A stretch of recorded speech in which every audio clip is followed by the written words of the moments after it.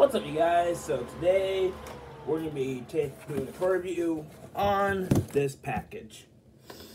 I'm just kidding. We're not gonna be doing a review on the package itself. We're gonna be taking doing a review on.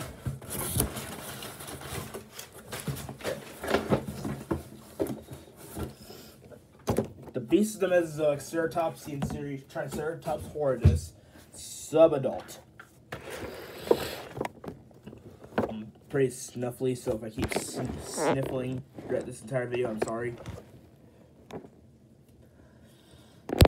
So, I might include this review where I'm not as sniffly, but I gotta adjust the camera a bit. We can see the beautiful face of the Triceratops.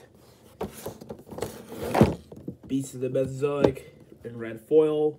118 scaled Triceratops horridus.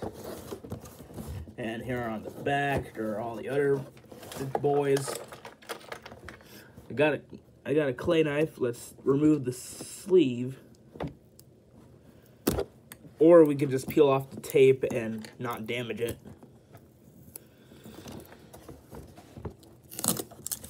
Alright, so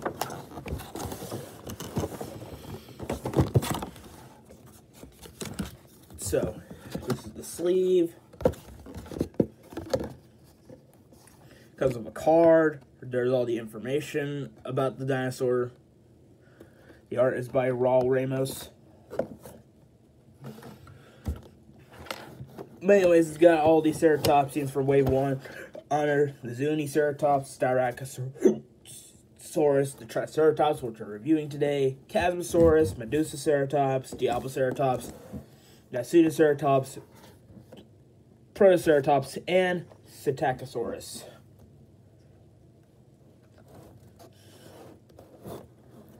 It includes an articulate action figure, collectible profile card, and a color display back backdrop.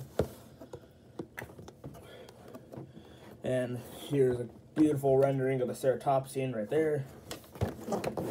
And on the underside of the box, designed by David Silva. Prototype was made by Jeremy Mons. The additional paint was by Matt Holt and Michael Whitworth and all the other boys. But anyways, let's finally break this out of the box. So,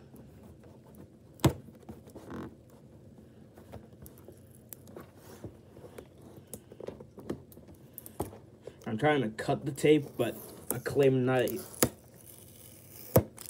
a knife that's meant to cut clay is not going to do well as a real knife.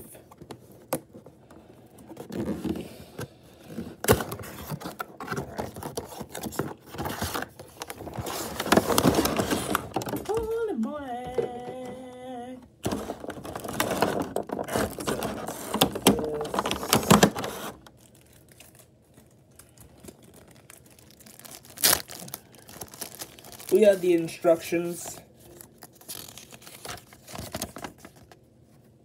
Step one, and step two. And here's the card. Front side, back side. It's basically just the sleeve, but except it's a more smaller and much more suitable version. So now we gotta cut this and I'm using the clay knife because I know the clay knife won't damage the figure, and I don't want to damage it right out of the packaging. I have damaged the BOTM figure upon opening it before, and that was the Balaur bondoc. Not this particular Balaur bondoc, I actually got another one. But, yeah. I broke its leg upon opening it because I was stupid and didn't follow the rule. It's not a rule, but it's highly suggested unless you want to destroy a BOTM figure, which I don't even know why you would. You are a psychopath if you ever want to destroy a BOTM figure.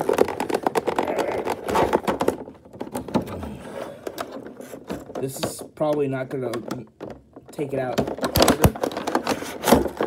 what it will do is stretch out the things to the extent so that way it can come out of the package. This thing is a little bit bigger than I was expecting it to be. I mean, just a tad bit. Triceratops are normally pretty big. Come on. Okay, so. Alright, got that out.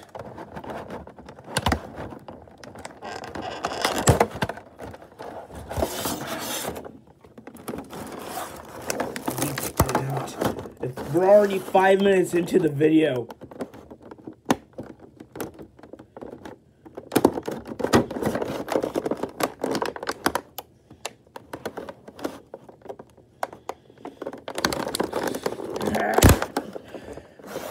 Alright, so. Oh, crap. The dreaded foot strap.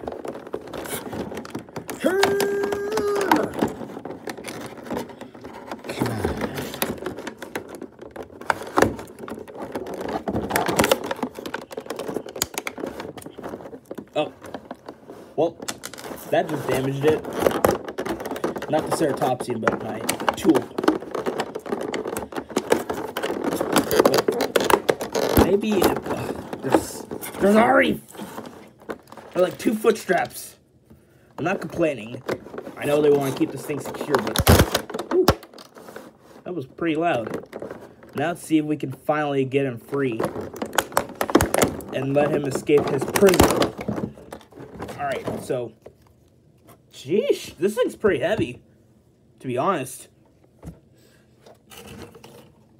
Alright, so... How does the tail go on? Hmm. Well, I'm gonna assume that this is the underside right here. But yeah, we gotta heat the we gotta heat up the tail joint. Unless we want it to, to either break the dumbbell joint or possibly break my hand.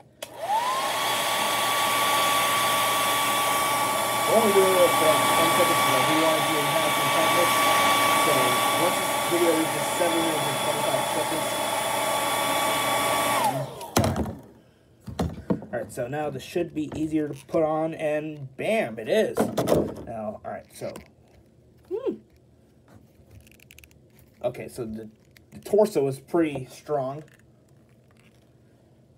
a little bit too strong. Okay, good.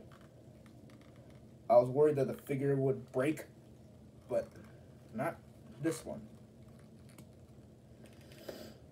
So it is pretty tight upon opening it, but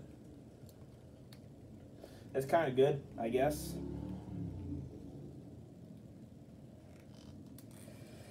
Alright, so There is unfortunately some paint splotches from the joint, but it's not too bad. Nothing to complain about. You know, I'm not going to be a Karen about it.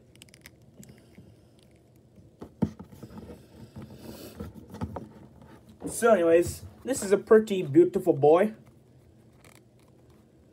And this is so beautiful. So yeah, the the horns are very sharp. So you probably don't want to give this to little children. In fact, this is recommended for ages 15 and up. But anyways, it's a pretty cool figure. Now, there really is only like one issue, and that's about it. It's the way that the that the neck joint was designed. Makes it look super unnatural when it's posed upwards and downwards it's kind of weird. See? You can't swivel it at all. And it goes side to side. So yeah, the way that the neck is sculpted limits the range of it. But anyways, it appears that the tongue is articulated, but you're going to need something pretty small to Okay, yeah, the tongue is articulated and it's pretty, it's kind of loose. Oh, I just realized that, did, that this didn't go on camera.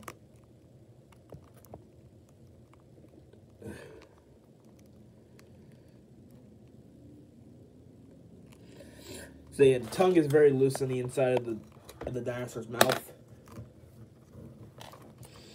And so, yeah, it's time to show the articulation. So the valve can open and close. We already saw what the neck can do, so we don't really need to go into that again. The arms can move and pivot. Leg. This part of the leg can move and rotate. There's ball joint in every foot. And we got the torso articulation. Oh, we just popped the tail off. No!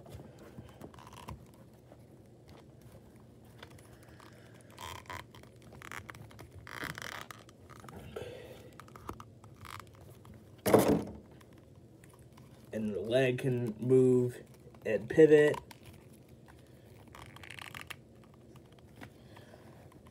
Thigh can... Hmm. The pattern on the on this thigh and that thigh It's pretty different. Knee can move and rotate. The ankle can move and rotate, and the foot can pose around. And the tail can also it's not a ball joint. Be, but be wary because this will potentially pop off. So, yeah, that's the Beast of Mesozoic Ceratopsian series Triceratops subadult. And I really, really like this figure. So, anyways, that's really about it for this video. I'll see you guys in the next one, and goodbye.